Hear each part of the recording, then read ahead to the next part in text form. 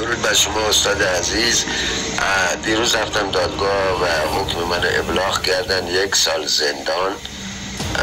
و ارزم به حضور شما اگر یک بار دیگه به رهبری توهین کنید و توهین جرم من توهین به رهبری و مقدسات گذاشته بودن و یک ده تا ماده تبصره هم گذاشته بودن و بالاخره اینکه دیگه در فضای مجازی فعالیت نکنم.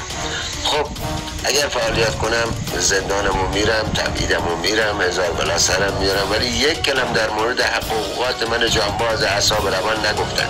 یک کلام نگفتن آقا حقوقات بهت میدیم زندگی تو بهت میدیم. هیچی نگفتن. اینها ایرانی نیستن استاد عزیز. درود بر شما.